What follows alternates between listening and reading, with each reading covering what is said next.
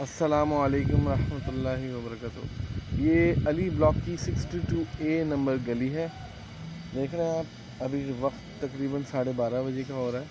और ये गली की हालत देखें ना सफ़ाई है, ना सुथराई है मेंटेनेंस पूरी लेते हैं। ठीक है ना? और ये प्लॉटों की हालत देखें काफ़ी। ठीक है? और ये सामने मेरे घर के, उन्नीस सौ सत्ताइस नंबर मेरा हाउस नंबर है। और ये मेरे घर के सामने देख रहे हैं आप, किस तरह रवानगी आने जाने की ट्रकों की बाइकों की, गाड़ियों की। सबसे पहले तो ये रवानगी बंद होनी चाहिए। ठीक है ना? यहाँ प्रॉपर एक प्रॉपर तरीके से, क्योंकि मेरे यहाँ पहले सिक्योरिटी रीज़न हो चुका है, डाकू घुस गए थे मेरे यहाँ। तो काइंडली इसको बंद करवाएँ इस जगह को, ठीक है?